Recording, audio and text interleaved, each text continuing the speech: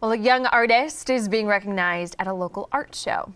Josiah Hill is being featured at the sixth annual African American Art Show at the Greenville Tech College Library. The display is being shown at the Barton Campus Library. 13 year old tells us what he hopes people will learn from his art. I hope they take away that art isn't just like paintings, it's more of an experience that's interactive for both the artist and the person that's viewing it, um, and just to enjoy it.